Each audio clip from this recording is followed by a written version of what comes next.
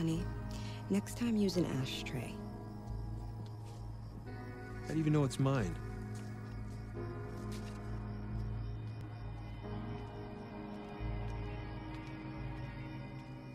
You have any proof? Not exactly. But he told us we weren't welcome in the neighborhood. That's what he told me. He refused to turn off his floodlights. He's made these implications about Lisa and me. And he was standing right there after the whole car tire thing, just waiting. Honey, do you have any proof?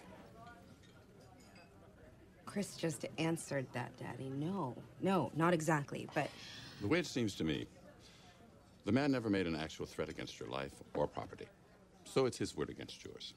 And he has, let's say, the color issue on his side. And that color happens to be blue.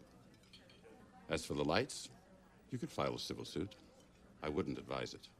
These things have a knack for turning out badly. Yeah, but why do we have to be the ones? That was my to- professional opinion. What's the point of carrying on with this?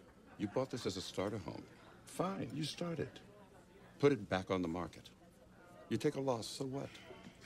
Then you can do what we wanted you to do, which is let us help you.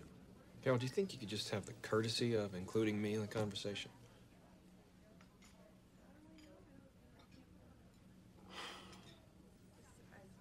Are you going to